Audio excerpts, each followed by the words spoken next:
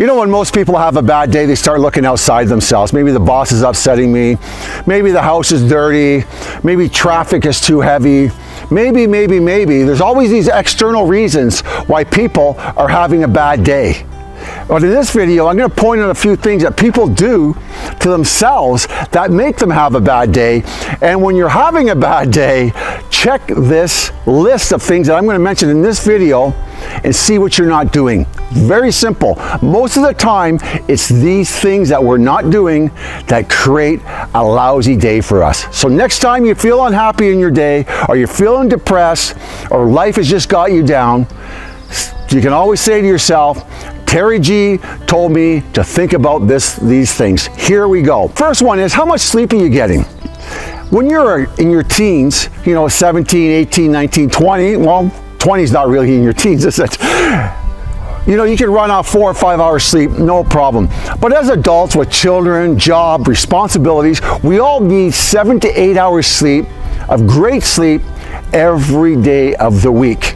Every day of the week. So if you're feeling really rotten one day, just check back the last couple of days and see how much sleep you got.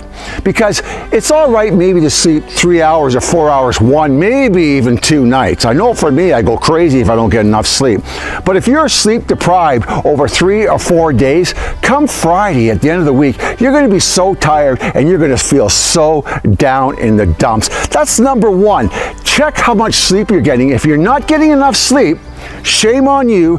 Get to bed early, get off the laptop, get off the computer, get off Netflix, and get to bed and have a great night's sleep because you'll be happier. You will be happier. Number two, pay attention to what you're eating. If you get up in the morning, run out the door and just have a coffee in one of those granola bar things, and you're wondering why you're feeling agitated or you're feeling anxious and you're not calm at work, it's because you're not eating properly.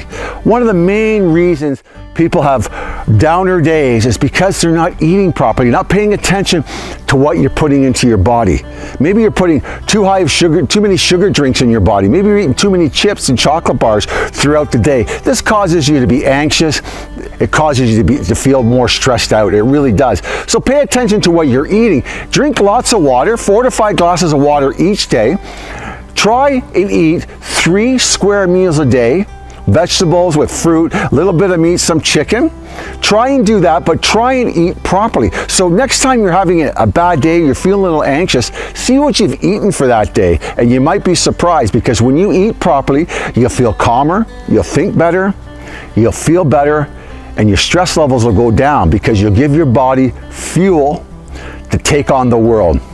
And what is the number three thing on my list? The number three thing on my list is exercise. Are you exercising enough? Nowadays, a lot of people go to work and they sit on their butt all day long and they really don't do a lot but eat junk food and maybe drink a lot of coffee. I know I see office workers around where I work and that's what they're all doing, drinking a lot of coffee, sitting on their duff all day and they wonder why they feel lethargic or they feel tired or there's no energy or they just feel down because working out or exercising really really, really benefits you. And if you could do it 10, 15, 20 minutes a day, your whole spirits will be uplifted and you'll feel better about your life in general.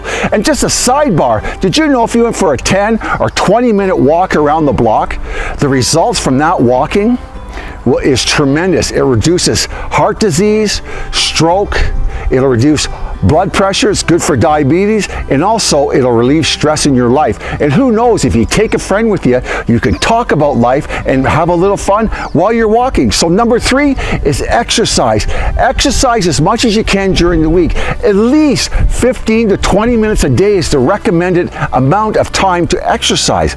And number four is managing your stress levels.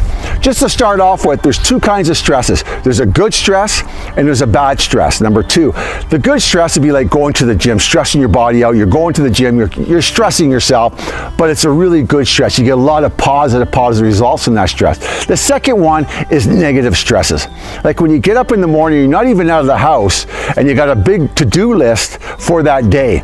So balancing your day or balancing your time during that day and keeping an eye on your stress levels because if you get a feeling of being overwhelmed or you put yourself on a big timeline during your day, it's going to cause you stress. So before you start your day or maybe the night before, make a list of things that you want to get accomplished that day and maybe one, two, three, four in importance. So feeling overwhelmed or managing your stresses keep an eye on that. Keep an eye on those kind of things. We all have stress in our lives. We all have responsibilities. But a lot of times we put our stresses, the stresses of life, we, we put on ourselves. We really do. So take a look at that. Take a hard look at that. And number five is fun. Do you ever have fun? Like I'm not talking about the fun going drinking a bottle of wine or smoking a few doobies. I'm not talking about that kind of fun. Like I'm talking about maybe call a friend up have a few laughs or go out for a walk or go out for dinner. But make time in your daily life to have some fun. Have some laughter in your life. Look at the lighter side of life throughout the day and go out of your way to have fun. Do that. It's really important. We have to make time for that nowadays because we're always so busy. Okay? I hope you find this video helpful. And if you did, please comment below or subscribe to my channel. This is the untwisted voice of Terry G. And as usual, look after yourself because it shows and have a great day. Thank you.